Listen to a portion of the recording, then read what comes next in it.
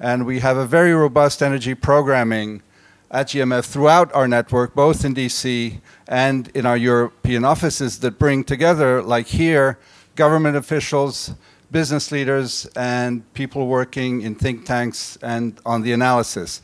And I'm very happy and honored to uh, introduce the moderator of our session, Nina Dos Santos, who's coming back for the third time here.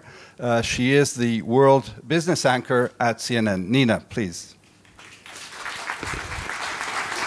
Thank you very much. Thanks. Ladies and gentlemen, thank you very much for having me for a third year in a row. Um, I'm going to introduce our speakers as they uh, take their seats. I'm sure you're aware of a number of these individuals here. Uh, starting out with the Honourable Børge Brende, the Minister of Foreign Affairs for Norway. We also have the Honourable Miguel Arias Cañete, the Commissioner for Climate Action and Energy for the European Union. From the private sector, we have Mr. Dev Sanyal, Executive Vice President, Strategy and Regions at BP, with specific focus on places like Europe and also Asia, and Jay Robinson West, who, as I'm sure all of you in the room know, has been involved with the German Marshall Fund for many of the years and a key part of this Brussels Forum debate that is now celebrating its 10th year today. So, let me start out by talking about the, the, broad topic that we're going to be here to discuss. I'm sure all of you in the room want to examine various issues here, various specific parts of the energy debate. But of course, we can't ignore the fact that the oil price is extremely low. That gives you sleepless nights or less troubled nights, depending on which side of the uh, supply and demand dynamic you are at. Um, we're going to examine that. We're also going to talk about the issue of energy security, which is paramount for this particular region maybe there's some lessons that we can gain from the United States. And climate change, because obviously with the oil price and gas prices being so low, does that suck the impetus from countries, from companies, to impose the kind of regulations that perhaps we need to protect the planet for future generations to come? So let me start out first by introducing you, um, Dev. Uh, you're from the private sector. The oil price is so low. BP is obviously a huge oil producer. How is this changing the landscape for energy today? Well, I think uh, the way it's changing the landscape is the way people are responding to their thesis about what's going to happen in the future. Uh, if you think about the world of oil from the Love Index, LUV, there are some who believe there's been a secular shift down in other words, the price of oil has got rebased forever. There are others who believe that this is a V, in other words, there'll be a sharp recovery. And there are others who have a perspective which is more about a flat U. In other words, it's cyclical, but it's going to recover over time. Based on your thesis of what's going to happen, people are responding. So there are some companies that are clearly uh, recalibrating, but keeping their options open. Other companies are working through cycles, and others are taking a different view in terms of the investment regime. How is it changing the conversations that a company like BP and all big oil companies have with local and national governments here? Because obviously, presumably, that is changing significantly because of this. I think the key, Nina, is to do two things. In the short term, how do you manage your financial framework so that you've got financial resilience to tide over, if you will, the thesis that you may have in terms of the oil price recovery, while at the same time maintaining options for the future. So the conversations have been around how do you manage the books in the short term? How do you drive deflation in your cost base, OPEX and CAPEX, while at the same time retaining options for the future? Robin, I want to come to you because obviously the, the price of oil is being felt particularly hardly in the United States. Number of shale oil gas producers now having to ramp down production, shed staff, just shut down outright because the economics of it just don't work at this level. Where do you think the shale oil industry is going? Do you think that the low oil price at the moment is a bit of a flash in the pan because shale oil will come offline eventually, or do you think that it is that L or U or V-shaped curve that you're talking about, Dev? Well, I think it's important uh, to understand that the, the shale oil boom uh, was uh, undertaken by entrepreneurs. It was by small companies that didn't have the big cost structures of, of major oil companies. Um, and they made these breakthroughs first in natural gas, then in oil. Um, and um, what's happened now as the price of oil has collapsed, their cost structure has gone down as well too. Um, OPEC is trying to squeeze out uh, this North American production. But it's proving to be a lot tougher than they thought because, frankly, these very entrepreneurial uh, uh, oil executives, they're bringing costs down. And people thought shale wouldn't work at $60. It works at 60. They thought it wouldn't work at 50. It works at 50. They're, they're keeping it coming down. So this, uh, I don't think this production is going to be shaken out anytime soon. I want to come to uh, Minister Børge Brende. How is Norway being affected by the current low oil price?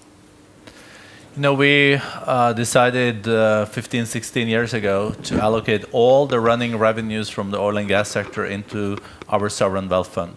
And then we use the real interest of the sovereign wealth fund can be allocated our, in our state budget. So uh, the sovereign wealth fund is now 1,000 billion US dollars, the largest one in the world invested in average owning 1.5% of all globally listed companies.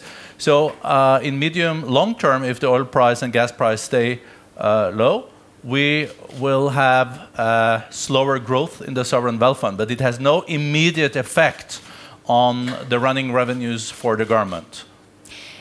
Let's broaden things out. Uh, but before I do, though, I just want to remind everybody out there, you can get in on the conversation. I want to make this as interactive as possible. I'm armed with my Twitter handle, the hashtag uh, Brussels Forum 10, of course. And don't forget that you can, of course, use your BF Connect app to send in questions. I don't have any yet, but as we start to get them, I'll start to feed them in. We should talk about energy security here. And Commissioner Canete, I want to come to you uh, to ask you about how significant the difficulties that this region is having with Russia is vis-à-vis your particular portfolio trying to enhance Europe's energy security profile for the next 10, 12 years and also include climate change into that debate? It's clear that the European Union is highly dependent on imports of energy. We import 400 billion euro a year, 1 billion a day, and uh, in some cases, uh, mainly in gas there are some countries where are very highly dependent on a single supplier.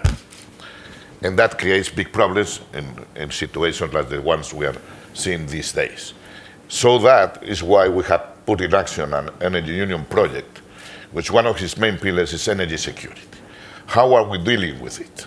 First of all, we did a stress test in 2014 to, to acknowledge the real situation and the capacity to react to situations of crisis.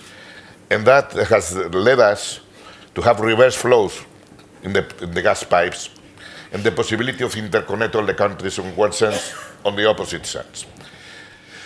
Thus, this year, for example, Ukraine is buying more gas from European sources than from Russian sources, and that diminishes the intensity of the problem. It doesn't eliminate fully. On the other side, we want to have different routes of supply. That's why we are supporting the Southern Corridor and giving all the political and technical economical support to develop this corridor and have different supplies, in this case initially from Azerbaijan, but in the future from other countries. But the Southern Corridor will not make up the huge amount. Europe needs something like 500 billion cubic meters of gas every single year. One third of its gas is imported from Russia by a very fragmented network, which allows Russia to have bilateral agreements with different EU countries. How can you surmount that? The Southern Corridor is not going to help counter that entirely. It's, it's an initial steps, and it will develop further.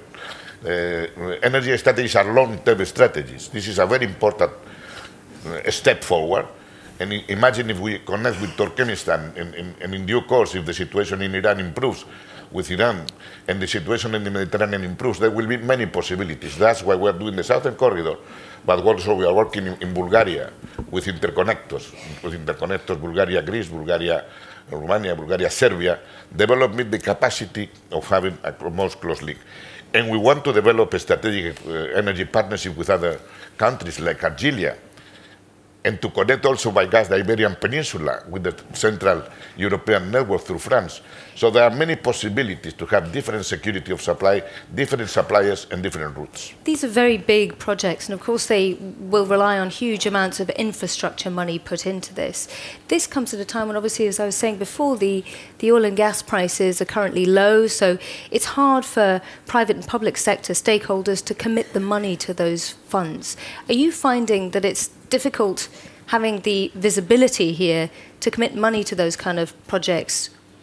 No, we have established the Juncker plan, the, the EFSI, uh, the European Strategic Investment Fund, and there are many demands for financing for projects, so money will not be the problem. The projects must be a market case, so that private investors come to them. But when there is a case of uh, uh, uh European interest, we have the Connecting Europe facility to, make, to give grants so that it breaks even. So we work on, the, on, both, on both sides, private investors and then support from the European budget. In those cases, there is a big European interest in developing a single infrastructure. The reason why I'm mentioning this is Børge Brende, uh, Norway famously had a deal with Lithuania and Estonia, which changed their energy profile quite significantly, helping them to diversify themselves away from uh, Russian gas. Um, how successful has that been, and can Norway be perhaps the answer to energy issues and energy security issues that the EU is facing today? I think we can be a contributor, and we are we are already. Uh, Russia uh, responsible for 30% of the gas that is consumed in the EU. Norway 20%. We can step up further uh, in the years to come, making natural gas a bridge from a fossil fuel-based society uh, to a more uh, low-carbon economy. That is the vision of the European Union. And we know that uh, if natural gas uh, can come instead of coal, it emits uh, half uh, of what coal does. On the LNG, um, for Lithuania, this has been an important step forward, also for diversifying their um, energy situation. And I think with, with Norway contributing 20% of, of the gas to, to Europe, we I think the political risk related to Norwegian export is is lower than uh, from some other uh, actors in the market. Also, as a reflection, you know, with the big picture that we are now seeing, with uh, energy security and diversification really on the agenda, and it should be on the agenda. I think that uh, Putin, uh, President Putin has also in this field uh, made a cardinal mistake three, four years ago, was energy security on the top of the agenda of the European Union. Everyone in Europe is now looking at not being in a situation in 10 years where you have to rely so much on one distributor. And even during the Cold War, and we know this because we also have been a distributor for some years from Norway's side, there was not created this kind of insecurity and also a willingness to use gas in the political uh, context. And this is not very strategic. I'm slightly skeptical about that comment because I distinctly remember covering as a journalist the 2007 2005 issues when the pipelines almost shut off in countries like Belarus, Ukraine, and energy security came right to the fore of policymakers' minds here in Brussels, and then it fell off the agenda a little bit. So, um, Minister, uh, Commissioner Cañete, how can we make sure that that isn't going to happen in three or four years from now? First of all, because we have developed. Uh, Energy Union project, which one of its main pillars is energy security. And we are going to enforce it. So the European Council yesterday also, in his conclusions, uh, uh, with the, the, view of the Commission, the framework uh, strategy of the Commission, and instructed the Commission to develop it. So we are going to work in, in, in diversification of routes, suppliers. We are going to develop a new LNG gas strategy in the European Union that we haven't had ever to see what are the missing links and how we can improve it in view mainly because we are discussing with the United States the TTIP, and there will be possibility of additional exports in the future and improvement in the pricing, in the pricing systems. So we, we are going to prepare us not only with natural gas and traditional pipelines, but also with LNG strategy and, de and developing additional hubs. We want to develop a Mediterranean hub which is also competitive. Yeah and of course that'll take uh, quite a number of years before it's up and running, but it's still commendable as a project. Um, uh, sooner than later. Let me let me start bringing in questions here from the audience that have started to come through uh, here on the BF Connect and uh, Twitter uh, platforms. And again, this just goes back to the issue, uh, Mr. Minister, of Russia. So here's a question which feeds into what we've talking about before, what real effect do sanctions have on the Russian energy sector? And does Russia still have energy as a weapon? So I'd like to ask both of you to answer that first. I think Norway, as uh, one of the largest uh, energy exporters in the world, is not particularly hit by it. But uh, and being the sixth largest producer of hydro. But to the to your question or to the uh, to the question, I think that what we have seen now uh, in the annexation of Crimea, and also the destabilization and break of international law uh, in Donbass, I don't think this is easily forgotten and I don't think it should be easily forgotten, the, the security landscape um, is different from what it, it was. And I think it's every nation's responsibility to also make sure that energy security is a very important part of your policy. And you should diversify. So this is a unique opportunity uh, to look at different ways of, um, uh, of uh, uh, diversifying. On Russia, if and how potent is uh, this uh, energy tool as part of their way of of making their influence in, in Europe and also in, in the Baltics. I would say that with the economy that is now contracting 4 to 5 percent, and in a situation where um, also there are uh, fundamental challenges in the Russian uh, society. And with the depreciation of the ruble, I think they are more focused now on getting paid for the energy that do they export. From an EU perspective, uh, Commissioner Canete, um, is Russia losing a little bit of its might when it comes to using energy as a foreign policy tool? Because obviously, as uh, Minister Børge Brende was just saying before there, they've got to be nice to the customer because the economy's really we doing will, badly. We will do all the efforts needed so that energy is not used as a policy tool, and we will diversify routes, suppliers, sources, everything we do. But on the other side, Russia, Russia will be uh, a, a, supplier of the European Union in the future. And when the conditions are right, we will have to restart the energy dialogue with Russia on market conditions, with transparency of contracts, on a different basis, respecting the European laws. But we will have, they, will, they will have to be partners in the future, but market partners. BP is obviously big in Russia. You've had your trials and tribulations with TNK BP in Russia. Um, how significant is Russia uh, as a market for BP? Obviously, it's huge from an oil and importancy perspective, but are you finding that it's difficult doing business there? So, Russia, put in perspective, is the world's largest hydrocarbon province. And one of the, I guess, debates in the last few years has been around energy independence of some parts of the world, like the United States. I would actually argue that energy interdependence is the narrative of the day of the current day and will be the narrative for the future. Because the reality is, four countries hold the resources 50% of the resources in oil and 50% of the resources in gas. So ensuring that there is, if you will, the trading relationships that sustain energy security is incredibly important. Russia is important in the context of what it provides in terms of energy security to many parts of the world. Obviously, Europe is a very important part of it, uh, given the fact that, as you said, 30% of uh, imports are from Russia. BP has had a very long-standing presence in Russia.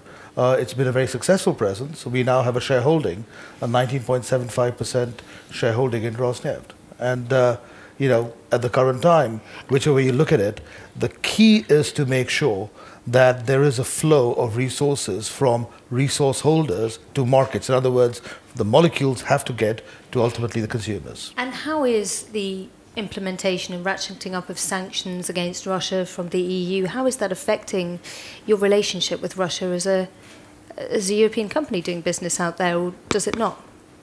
Well, we are continuing to um, do business in Russia within the context of the uh, very specifically directed sanctions and Russia is continuing to be uh, a very important source of energy security for Europe. I want to ask you, Robin, how, from, from, a US perspective and also just the GMF perspective as well, and somebody who's been in US government, how concerned are you about the current uh, rhetoric between Russia and the EU and the concerns about energy security in this region's over dependence, some might say, on Russian gas? Um, in Washington, obviously, there's a lot of concern of, uh, of uh, European uh, dependence on Russia, and I think uh, there's a lot of support for an effort to, to create uh, um, a new energy union and to diversify. I think one of the, the really very serious questions is that uh, Russia, as Dev said, is a very important province to the world markets. And how long are sanctions going to go on? Um, how, how, will a transition be managed uh, to some uh, new structure? And the outcome isn't clear, but it's there is a real worry that, uh, again, depending on uh, your price, uh, your, your, view of the world, we could be in a V situation where prices could collapse, and then investment doesn't take place because of low prices. Demand picks up, and then the price spikes again. Um, in that case, we're going to need all the oil we can get, and we're going to need Russia. Russia is very important. So, isolating Russia long term is a very bad idea. Do you think that's where we're going? I think there's a risk of that.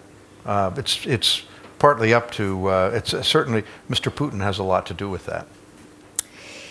What about diversifying Europe's energy and gas stream from other countries? For instance, uh, Libya was a big producer of hydrocarbons, and now obviously that's a country that's in turmoil. Some of the traditional energy partners, in terms of sort of where the supply was coming from, are now having a really difficult time are offline as well. Is that exacerbating the situation, would you say? Well, one of the things that happened, um, uh, one of the things that kept uh, the oil price from going to $150 a barrel or some very high price uh, last year, 18 months, uh, was uh, when uh, Libya went down, we lost several million barrels a day production there. There are problems in Nigeria. there are a number of producing countries. It was just the time when America filled that gap. And now um, um, the markets are, are fully serviced. But I, I think that, that um, I mean, for example, the elections coming up in Nigeria. Um, if those elections go poorly, um, there is a potential for instability, if not civil war. Um, that could be a huge interruption of supply. I mean, if there's one lesson I've learned in this business, is it's not a predictable business. I mean, I've made a pretty good living trying to predict it, and all I can tell you, it is not very, not very predictable. Very wise words. Just coming back to, before I leave the issue of energy security for Europe, um, Commissioner Cañete, I must ask you about, before we were talking about the Southern Corridor and its importance for Europe's diversification of energy. The, the South Stream project, though, by the Russians seems to be over. How is that changing things? The European Union always considered that building South Stream didn't increase our security of supply. We will be depending on the same provider. So doesn't change our policies at all. The Russians has, have told us that they will put the, the gas in the future in the, in, the, in the Greek border, and it's up to Europeans to build new big pipelines. We are not doing so at the moment. We are developing interconnections in southeastern Europe, the ones I told you in Bulgaria, and trying to develop the, the, the southern uh, corridor. That's what we are doing. We are going not, not going to change. If there is gas in Turkey, there's possibilities up to, to collaborate. Okay, but that doesn't change our problem. Our problem is dependency on single suppliers, and our problem is using energy as a political tool. And we have to prevent that in the future, and we will work in that direction. Uh, Dev, I want to ask you, um, from a private oil sector point of view, BP has actually done some research that says that this particular block will be relying on foreign energy sources currently gets about 53% of its energy imported from elsewhere, but for two thirds of its energy needs by the year 2035, I think it is, according to your own research. How much uh, should people be worried about that, especially considering what the minister was saying about, uh, the commissioner was saying, excuse me, about trying to diversify energy supplies? So of course, we won't get to that kind of scenario. So, we take a perspective on this, Nina. Europe today consumes around 15% of the world oil demand and in terms of gas, it's around 18%. Europe today has around 0.4% of the reserves for oil and 0.8 for gas. So the reality is that Europe will need to be very much integrated and has been for many, many decades now integrated in the global trading system. It again goes back to what I said earlier. Uh, it is critical to think about energy as a global commodity. It's critical to think about how we lubricate that interdependence rather than talk about a rather triumphalist independence point of view. And if the world is so interconnected, we of course can't just talk about the European perspective, we need to talk about the United States. The other side of the planet, what are going to be the main pressure points here? If shale gas does eventually come back online, the price comes back up, from a US perspective, what happened to peak oil? Where do we go from here?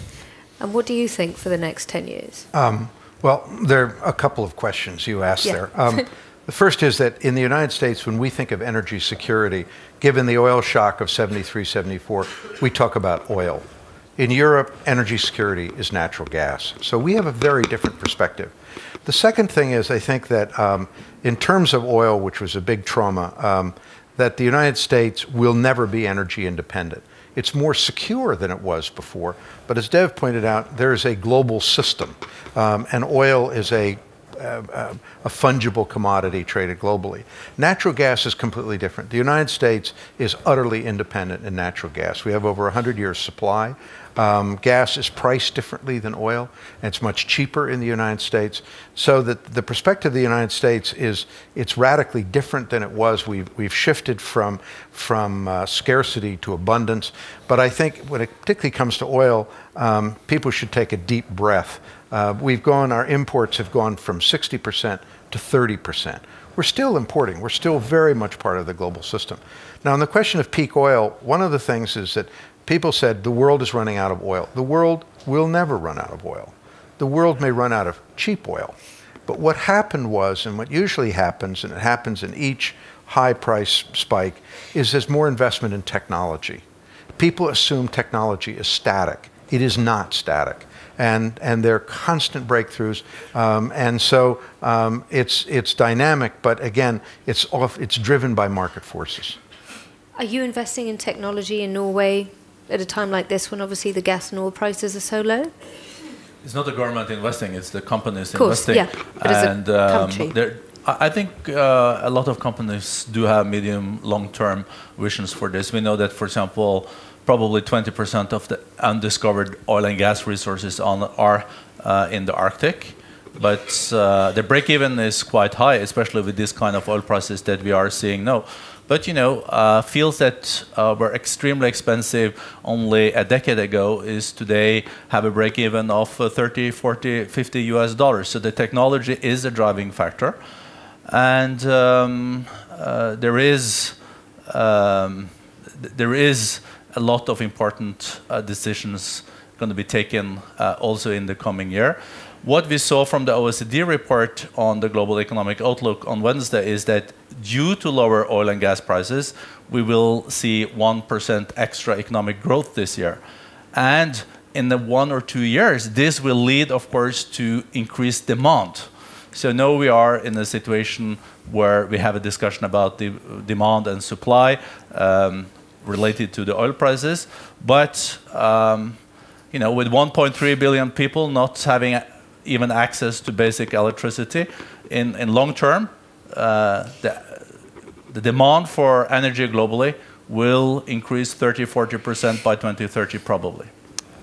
I want to ask you, Dev, uh, one of two questions, just sort of feeding off of that. If the oil price is so low, BP's already announced massive cuts for its North Sea oil operations. Um, it's expensive to consider drilling at a time like this, presumably. And also, at the same time, the European Union's new energy union that's going to be created, it's not necessarily on the oil side, more on the electricity side. It will hopefully perhaps reduce prices for customers. So, are you foreseeing a sort of price issue when it comes to investing in oil and gas to get it out of the ground now because it may not be worth as much later on? I think um, just to go back to the sort of peak oil uh, idea, this idea was very much fashionable when I joined the industry uh, 25 years ago. Uh, I think there's a great uh, geologist by the name of Parke Dickey who once said, when we thought we were running out of oil, we discovered we were running out of ideas. So when I joined the industry 25 years ago, deep water was 300 meters. Today, deep water is 3,000 meters. Uh, we've looked at sort of energy uh, efficiency over that period. We've also seen greater uh, you know, recovery rates uh, in that period. And that trend will continue. That's just the nature of innovation and the nature of technology being deployed at scale. Um, I, I think it is very, very hard to say that the prices will be X or Y. uh, one has to sort of, uh, I think, have the flexibility uh, to deal with a range of scenarios, which is why it is important to do two things, as I said in the very beginning, to have a resilient financial framework to sort of see through that cycle, but at the same time to have a very clear line of sight around the projects that you need to execute, so you're not chopping and changing as you're working through those projects. My own sort of view is that uh, the industry has been very, very capable of managing the cyclicality because the reality is when the price of oil, some people forget this, it was $9.62 in 1998. I remember that time very well, as do you, Robin.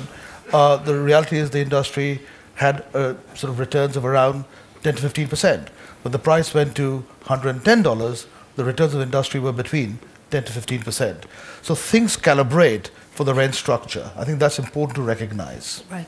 Now, I'm going to open up the floor to questions. I'm aware that we haven't yet started the debate on climate change. So if anybody wants to kick that off, um, I'm just going to see whether there's a microphone in the room. So we have uh, one question for the gentleman at the front. I'm going to take three questions at a time. So Christoph Marshall, I would like to stay with the uh, oil Oh. price uh, for a moment, since you all said convincingly that we have so many, um, so many fields where you can produce oil at a price of 40, 50 dollars, and if it's going to 70, 80, there will be a lot. Why should, in the next decade, the oil price raise at any time again over 100 dollars? Dev, why should the oil price at any point go back up to $100? I think Paul Samuelson said, if you forecast, forecast often. Um, so I, I, I don't know what the price will be, but I think the important factor to consider is that today, fundamentals are being priced in to oil. World peace is being priced into oil. If those factors change, then the prices will change. As we've seen, when prices go up, demand destruction becomes a narrative that changes the price set. And we saw that in August of 2008 when the prices went up to $147. So I think, you know, ultimately it's going to be fundamentals and it's going to be uh, sentiment that's going to drive where the market is. You know, this idea that, you know, around the edges people are doing things to the price of oil, I, I think has been disproven. Fundamentals ultimately price in uh, uh, to, the, to the oil uh, regime. Let me take another question. Um, one at the front. I'll take these two together if you don't mind. From the lady there and then the lady afterwards. Thanks. My name is Niki Tzavela. I'm a former member of the European Parliament. I was in the Energy Committee for five years. And my question is to the Commissioner uh, security of uh, supply. Is it only supply from producers? Do we exclude exploration and exploitation of Europe's indigenous resources, not only on energy, but rare earth as well. And this question moves me to a question to all the gentlemen in the panel. How realistic do you see uh, Europe producing shale gas, let's say in UK and Poland? This scenario is out. We don't see it anymore. And how important do you see the deposits of gas that they have been discovered in the Mediterranean? Israel is already exporting. Thank you. Thank you very much. And then the next question. Thank you. Sonja Licht from Belgrade. Uh, my question is also to Commissioner Cañete. Uh, it is well known that in 2009, uh, Southeast Europe was one of the most hit uh, with the crisis. The energy community, obviously, in Vienna, is trying to do a lot to overcome this very, very serious dependency. Uh, especially, of course, on the Russian gas. Some of the countries are 100% dependent. Um, according, to, according to some uh, leading experts from the European Climate Change Foundation and others, in fact, Southeast Europe has a lot of potential in making the situation much more energy efficient if there would be more cooperation. Uh, you mentioned interconnections, but the problem is that, for example, Bulgaria is producing much more electricity that it can spend, while other countries in the neighborhood are dreaming of new uh, coal plants. So my question is, what will the Commission do immediately and, of course, within the energy union strategy to uh, foster much more cooperation in using energy in Southeast Europe. Right. Now, it sounds as though there's two questions for you there, Commissioner Cañete. Um, apologies uh, to you who asked the question for all members of the panel, just because I know we have to get on with climate change too. I'm going to moderate that and ask Mr. Cañete to take both of those. We, we already last month launched a high-level group in Southeastern Europe to analyze the situation, cooperate with all the relevant ministers, and develop the infrastructures. And the Commission will follow closely that all the needed interconnectors are established, are put on action, and we will do the political support and technical and economical if needed to develop them. We acknowledge this is a major problem, and we make, when we make the stress test, we don't only focus on the energy union, also on the energy community, because solidarity and trust amongst ourselves are needed. On the other question of uh, uh, indigenous sources and, and, what happens with shale gas, the treaty, uh, the European Union is very clear. Article 194 establishes that any member states, member states have the capacity to decide its own energy mix and explore the sources they want. The, the, the European Union only does two things. If they go for nuclear, they establish the most stringent safety standards. If you go for shale gas, we have established recommendations of how the environmental impacts should be handled. We are now assessing what has happened after these recommendations for launches in 2014, what are the best practices in the world, and after that sound analysis, we will, deliver, we will uh, think whether additional legislation is needed in order to uh, uh, guarantee the, the, the, environmental protection if shale gas, if hydraulic fracturing is put in place. But nobody prevents a single member state to develop the technique provided they follow the, the European Union recommendation. Okay. Right. Eh, apologies to this side of the room because I've had my back to you for much of the last 40 minutes. So let's take some questions here from this side of the room. Um, Madam in the front. Uh, my name is Yoriko Kawaguchi. Uh, I have one comment and one question. My comment is that when we were, you were talking about security. Uh, one thing, one very important thing which is missing is China and India. The Asia's uh, consumption demand will go, grow tremendously. So, in the longer perspective, you just cannot be talking about European security, energy security. That's my comment. Uh, my, the question is that one word which has been missing so far, uh, never heard of, is nuclear power generation. And in terms of climate change, it's very clean. And um, in Japan, as for the reasons you know, um, no power, nuclear power station is working at the moment. But if we think of climate change, and if we think of security of energy supply, it's about time that, the, of course, there are uh, conditions in various places but overall, we, we should be thinking globally what we think of nuclear power stations and then should try to introduce it to supply for, for the supply of energy and then think of together what we could do for the waste.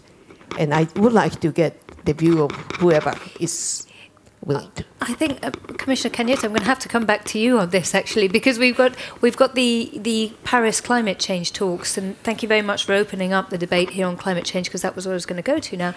How big a part can nuclear play in Europe to that discussion? In, in, in the European Union, as, as I stated before, uh, member states are free to develop nuclear if they want and to make nu nuclear plants. At the moment, there are some in, in Finland going on. In Hungary, there are new developments announced. And France it has also announced that they will uh, prorogate the, the, life of their actual nuclear plants. So there are many member states who use nuclear power. Others who are willing to develop them further. What we, what we make sure is that there is also safe security in supply of, of, of, of the um, uranium and the, and, the, and the nuclear fuel for these uh, plants, that they are no longer dependent on single suppliers. Also, we come back to security of supply also in nuclear, and that is, uh, the commissioning of a plant is done in the proper way, and that the uh, disposal of uh, spent fuel is done under the proper conditions. That's uh, in the safe, safe and proper conditions. We, uh, after all, the European Union started with uh, Euratom, started with, with, the, with the coal and steel, and, and we are still having lots of competences in nuclear area. And for a country like Norway, that obviously is a huge producer of oil and gas, is nuclear part of the future portfolio of your energy needs here for a cleaner Norway? Domestically, we have no plans for utilizing nuclear. That is also coming back to my point that 99% of our electricity comes from hydro. And we are also the sixth largest producer of hydro and exporting a lot of renewables through hydro to the European Union, and we can increase that. But I think the broader question that also Madame Kawaguchi raised was the global energy mix and the global demand. And as I also said, we should not lose uh, the following picture. By 2050, we're probably 10 billion people on this planet. Probably the energy consumption will have to increase with 50%. So the real question is how can we decouple this necessary growth to fight poverty with the growth of CO2 emissions? This is really the big issue. What do you think the answer to that is then? That we need to continue to use all the incentives that are necessary to move from a fossil-based uh, society to a more renewable, low-carbon society. And we have started on that, but uh, it's not going fast enough. and then you have to, uh, of course, on the methods, you have to do what you learned the first day uh, when you start economics, internalized externalities, a global CO2 tax that tax what you uh, are emitting. And everybody said that this will only work if it's global, if it's implemented among all those 196 countries that will be taking place in the Paris talks. Um, Dev, I want to come to you again from a private sector point of view. Some people have said getting a concerted effort and concerted rules and regulations that actually work on global climate change really will hinge on incentivizing the private sector as well to help people unhook themselves from fossil fuels. So, from the private sector, what can firms do to combat climate change? I think, Nina, when you look back in time, prior to the financial crisis of 2008, there was a strong focus on the end state in terms of the sustainability debate. I think we need to look at the transition to that end state as well. And gas has a very important role as a transition fuel. The reality is, when you look at the fossils complex, 60% of the emissions are from coal. And the reality is, if there is a 1% displacement of coal in favor of gas, that has the same effect in terms of GHG emissions with the 11% growth in renewables. So this is not to say renewables is not important. It absolutely is. And our own forecast is that the largest growth in the uh, energy complex is actually happening with renewables. But gas has a very important role as a transition.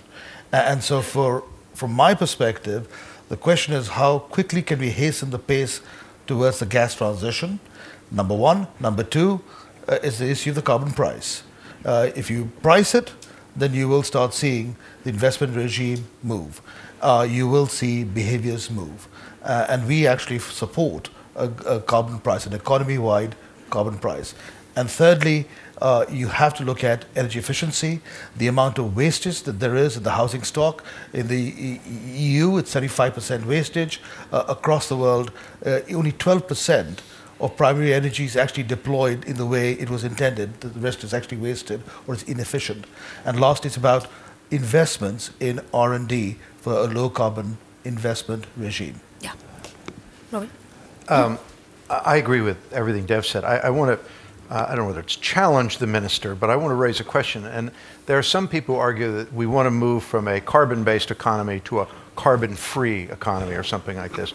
With all due respect, that's nonsense. It's, it's, the numbers just don't work given existing technology. Um, now, one of the things, though, um, to kind of add to what Dev said, is that natural gas actually is is going to be a very important factor in facilitating renewables. The problem with both wind and solar is interruptibility. The, wind doesn't always blow and the sun doesn't always shine.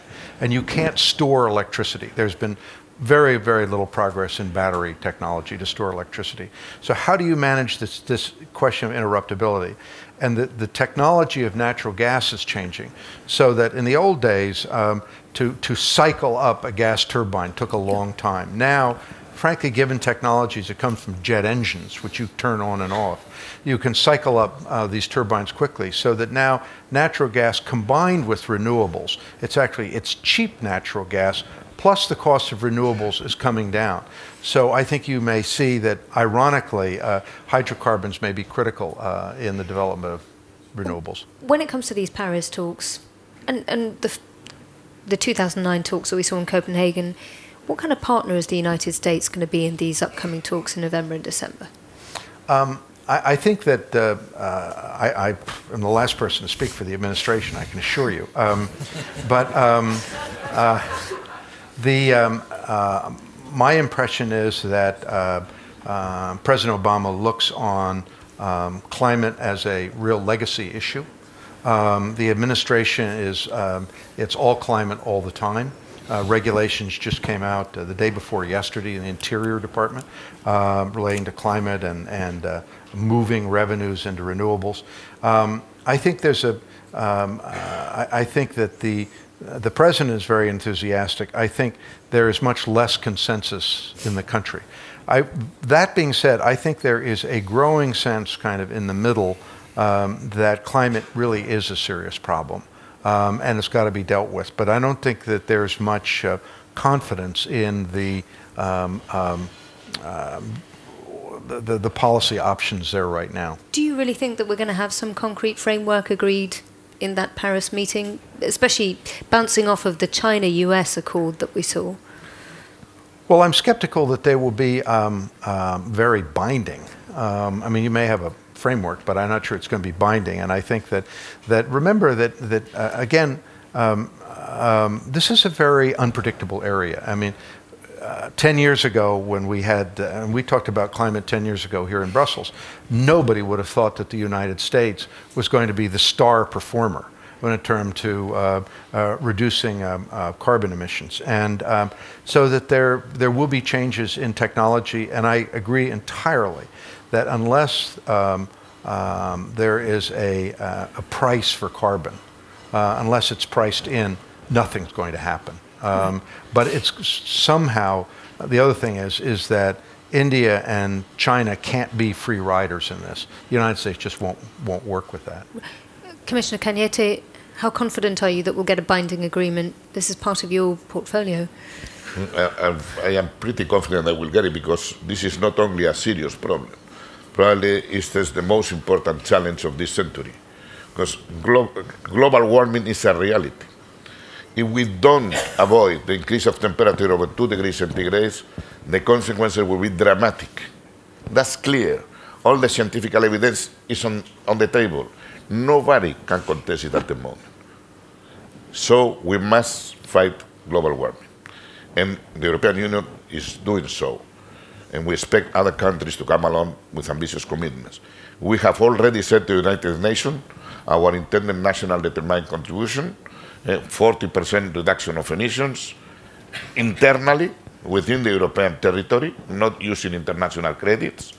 And at the moment, Switzerland and the European Union are the two uh, parts of the convention that have signed the commitment. We expect all the major players of G20 to come along with ambitious commitments.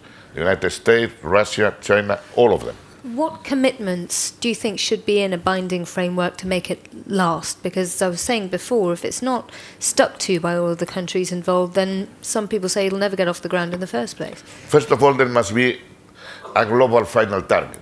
The European Union is proposing that we uh, support a reduction of 60% emissions by 2015. It means a long time. So it's real that we, in the meanwhile, we not only renewable uh, sources, but we have to use conventional sources. It's clear. This is not decarbonizing an economy is not a, a thing done in the, in the next week or the next year. It's a very long period. And we need carbon markets to give pricing signals. That's why the European Union we have a, an emission trading system. That's why the, the Commission at the moment is establishing a market stability reserve. That's why we will come with an ETS proposal uh, in the next months to have at least the European Union uh, a carbon market. Other, other areas in the world are developing carbon markets in the United States, in China, in Switzerland. The, the ideal situation will be a global carbon market, Yeah. eh? and then pricing for carbon, and then it will steer the growth toward renewable energies. But we are doing those in the European Union. We have the 20-20-20 objectives. Eh? 20 efficiency, 20, 20 renewables, 20 emissions. We are achieving them. Now we have 40% reduction of emissions, 27% in renewables, 27% in energy efficiency for 2030, and we will achieve them also. Because it's very clear. If you want to have the, the, the less emitted source is not, not consume energy. Every 1% of energy efficiency a country achieves, the European Union achieves, redu- reduces imports of gas by 2.6%. So we are fighting in all the grounds, in renewables, in energy efficiency, decarbonizing economy, establishing carbon markets, but we want all the other major players in the world to do the same thing, so that there is a competition level playing field. Yeah. We will, we will obtain two things, fighting climate change and have a level playing field. If the European Union on its own will not be able to do so, we are leading the level of ambition, and we will keep on doing so. We will work closely with China and the United States to bridge alliances with other countries. And I think Paris must be a success. Let me take some more questions here. Um, there's one at the back, one at the front. Uh, Rob Atkinson, Information Technology and Innovation Foundation. So I want to take uh, exception to this notion that price is really the driver of this. Uh, we wrote a report about two years ago where we looked at about 10 major technology innovations from the 20th century, including energy, and there wasn't a single one that was affected by price. They were all technology push, not technology pull. They were all driven by innovation, including uh, fracking and natural gas. That was really driven by DOE-funded R&D. So uh, if you look at it, if you look at Europe, for example, compared to America, America has significantly more um, electric cars than Europe, yet the de facto carbon price in Europe is probably 10 times higher through the gas tax. So I guess I, I would argue it's really innovation and R&D that we need in this space. It's not price. Price helps. Price can, can be a supplement. But the, the notion that somehow we're going to get where we need to go based on price, the evidence of the past just hasn't borne that out. Okay, thank you. Uh, we'll, we'll come to that in just one minute. I just want to take another question, another couple of questions, in case they feed into the same dialogue. Thank you. Hello, I'm, I'm Kori Udovički from Serbia. And coming from a transition country, I must say I have heard and elaborated myself endless arguments for why interventionist policies will not really get supply or demand, whichever you want to intervene on, where you want. The only way to do it is through price. So this is also a price-related question. But my question is, why are we talking about carbon markets, about push for technology, about all sorts of ideas about how to affect the supply and demand of for renewables instead of what the minister mentioned, a carbon tax? And it should be a value added carbon tax that affects demand, ultimately. It would solve the question of climate in no time, and it is almost never on the table. I'm not sure who I am asking. I'm going to put your question to this gentleman in the front, Robin, who looks perfectly poised to answer both of those two questions. Lucky me. Um, uh, on the question of, uh, of uh, fracking technology, um, the Energy Department um, uh, helped underwrite the development of some technology um, uh, which was basically there. But it was the application of this technology which was driven by market forces, which was the key. That changed everything. And um, uh, that I I was involved in that process, and, and the price of natural gas was the key factor in driving that. In terms of a carbon tax, um, I think a lot of people feel that a carbon tax uh, is clearly the most efficient way to do it. But one of the problems in all of this is political will. Um, and um, uh, in the United States, um, uh, there is um, uh, there simply isn't the will to do it. Um, and um, uh, so I, I th this is a, I, I would defer to much smarter people than myself who understand politics. Uh, but I think that, um, uh, that this is going to be a, a, long and tortuous path. I mean, the, the two market approaches either you um, as a carbon trading system uh, or a tax, and uh, whichever one is, is the least painful. One of the problems with carbon trading, of course, is that politicians sometimes have been known to issue a few too many permits, which causes the price to collapse. Uh, and so the whole system collapsed. Um, and that's what happened in Europe before. And so, at any rate, it's this, so there's a, a question of, it's really a question of politics. From the, from, can I just, oh, sorry, go ahead. But yep. if I may say, well, I understand that that's really a question of political will in the US, but then I don't understand why Europe goes through the trouble of, of making these complicated markets instead of advocating a carbon tax. Commissioner Cañete? If there was a global carbon tax equal for everybody with a level playing field, but we, we, have, we have opted for develop this carbon market. It had some imperfections. We are correcting it with the market stability reserve. And within it will work. And we will be market driven without tampering by politicians. Are you is, convinced that's the best strategy? We are convinced, otherwise Or is it just the easiest strategy to implement at the moment? We are convinced the discussion of carbon tax or carbon market has been ongoing. There was making a choice, and you cannot be changing policies daily. We have established, establishing a, market, a carbon market that works properly takes time. Linking with other world markets takes time. And we have developed this idea, we are correcting the imperfections, and I think it will work. When you hear this kind of political discussion here, as a business person at the helm of BP, what do you think? Because obviously, business leaders say day after day, well, the problem for us is we just don't know how to navigate this ever changing policy mix. I think two, two observations, uh, Nina, from my side.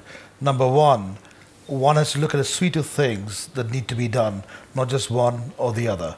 So, for example, on the issue of innovation and R&D spend, absolutely, because you have a cap and trade system or you have carbon taxation, doesn't mean that you stop doing that.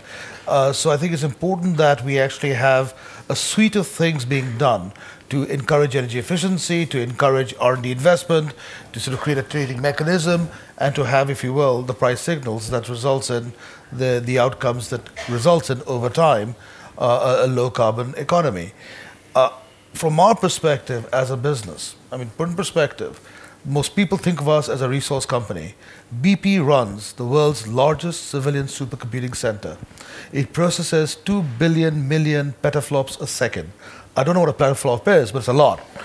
uh, uh, and, and, and, so technology is, I think, yes. the great enabler, uh, as Robin was saying earlier as well. And the second point I would make is business looks for certainty.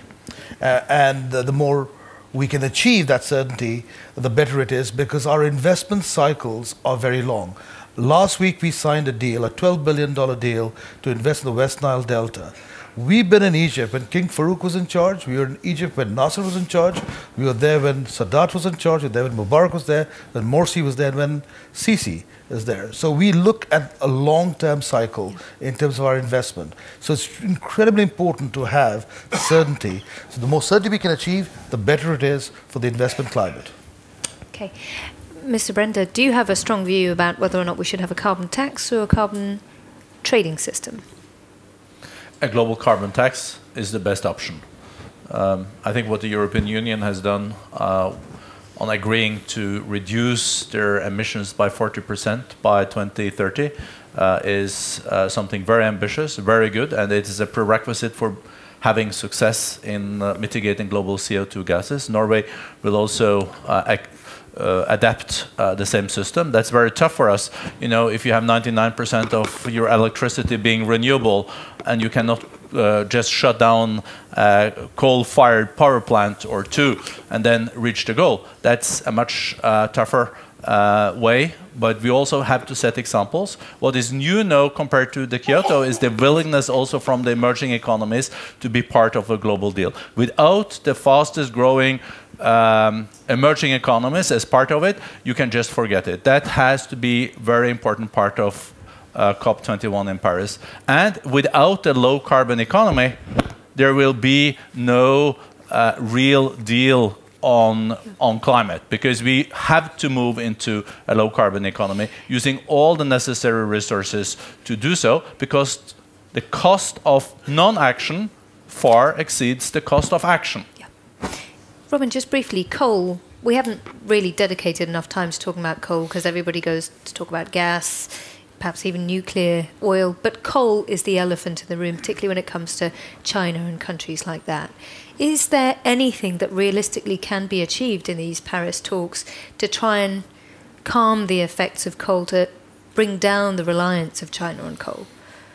Well, China and India both, um, and and other parts of the developing world. I mean, coal is uh, it's very inexpensive, um, and um, um I think that that in the the the, the near to medium term, what uh, uh, we have to find ways to encourage, frankly, the use of natural gas um, and natural gas and renewables. Um, but I think that uh, coal is uh, uh coal is is a factor coal isn't going away.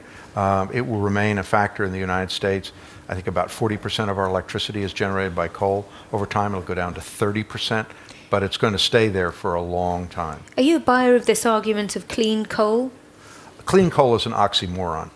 Um, uh, and um, I think when it comes to uh, uh, moving, removing particulate matter and everything, there have been tremendous progress. But when it comes to CO2, um, it's very difficult. There's this a concept called carbon capture and sequestration, which the environmental community has been pushing hard uh, as a solution of way to manage coal.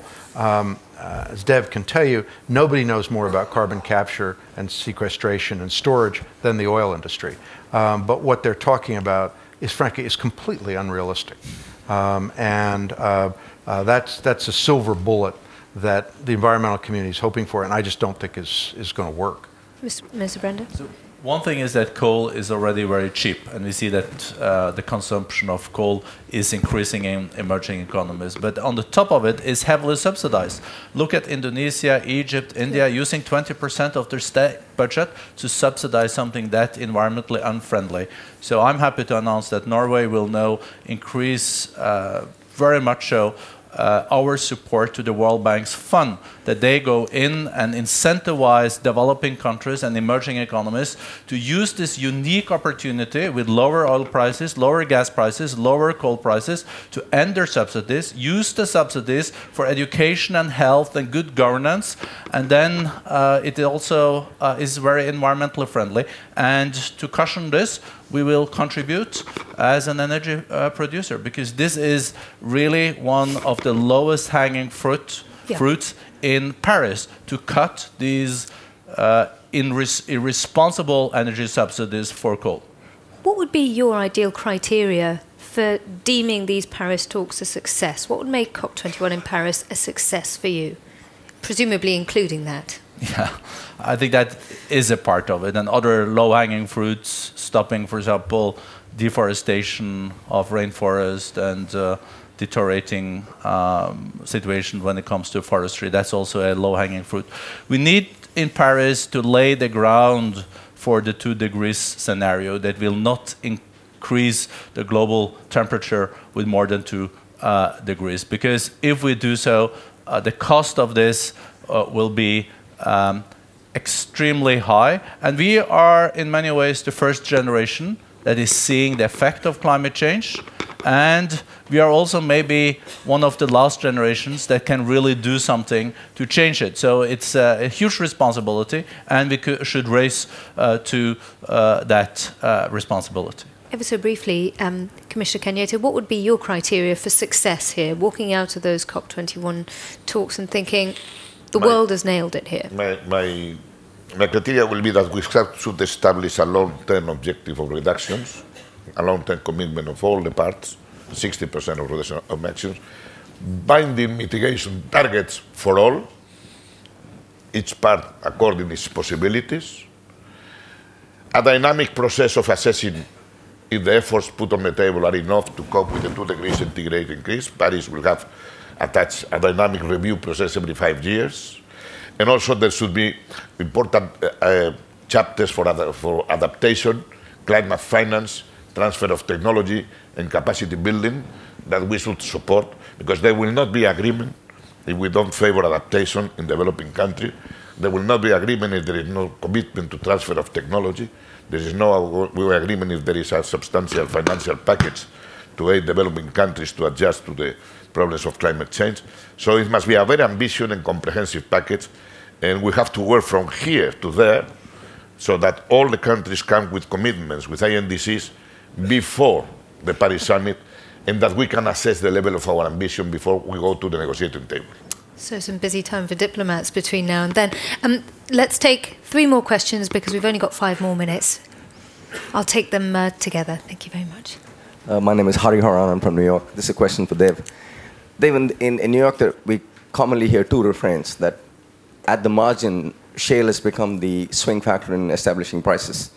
And secondly, uh, in keeping in, in, line with your comments about financial sustainability and long-term views, uh, the feeling is that good guys have bad assets and weak hands have the best assets.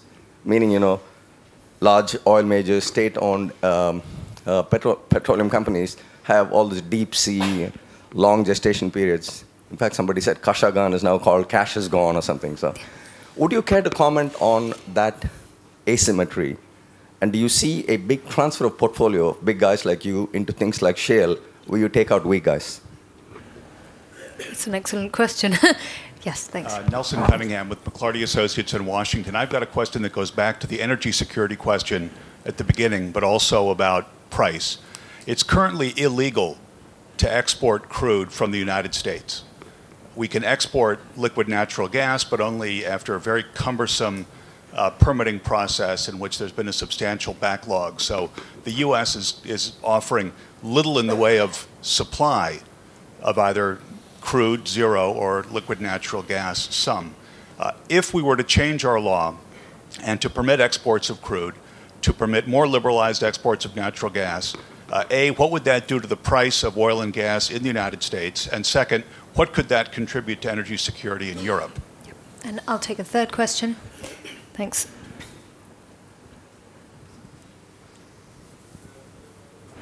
Thank you. My name is Reinhard Bütikofer from the European Parliament. My question is on the so-called carbon bubble.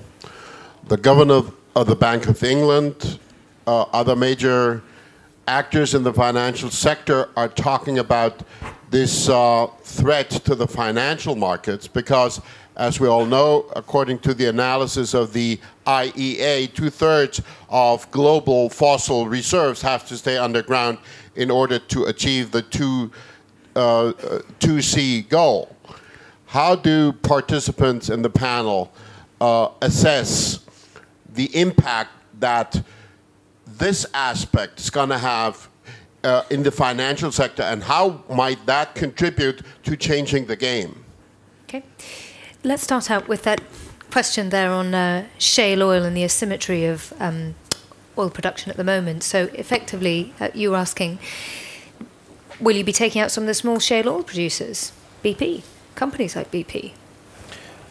I don't think this is the appropriate forum to make uh, announcements of that nature, but I think generally speaking, uh, what has happened over the course of the last one year has been extraordinary. Uh, there has been a $1.6 trillion shift in the rent between producers and consumers. That is circa 2.5% of world GDP. This time last year, the price of oil, by the way, was $107 on this particular day. Uh, it is currently 53, and by pure coincidence, on this day 10 years ago, the price of oil was $53 as well. Uh, so there's been a big, big shift. That means the industry has to recalibrate, players in the industry have to recalibrate. BP and companies like BP, Exxon, and Shell and others are involved in shale in North America. Uh, I think the point that Robin was making is that the revolution, and I think this is not a bombastic word, it is the accurate description, did not get engineered by the large companies, it was by the smaller entrepreneurs. But subsequent to that initial phase, there has been some consolidation. There have and other super majors investing. Go, but clearly, time. You know, you started the question of capital investments. If you look at the independent sector, year to date, there has been a 40% cut in the capital. If you look at the super majors, been around roughly, roughly 20%. So people are recalibrating, but you know, when you look at the landscape of the day, you can be seduced into believing you have the answers.